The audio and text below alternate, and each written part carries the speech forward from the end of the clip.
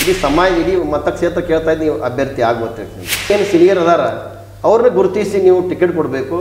ಬೇರೆ ಮತಕ್ಷೇತ್ರದವರು ಅಲ್ಲಿ ಬಂದು ನಮ್ಮನ್ನು ರಾಜಕಾರಣ ಮಾಡ್ತಾರೆ. ಈಗ ನಾವು, ನಮಗಿನ ಸಾಕು, ಹದಿನೈದು ವರ್ಷ ನಾವು ಈಗ ಬೇರೆದವ್ರನ್ನ ಎಂ ಎಲ್ ಎ ಮಾಡಿದ್ವಿ. ಮತಕ್ಷೇತ್ರದ ರೋಡ್ಗಳು ಕೂಡ ಅವರು ಸರಿಯಾಗಿ ಮಾಡಿಲ್ಲ.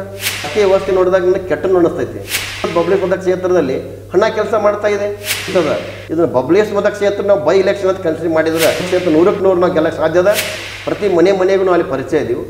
ಬಿ ಜೆ ಪಕ್ಷ ನನಗೆ ಟಿಕೆಟ್ ಕೊಡದೇ ಹೋದರೆ?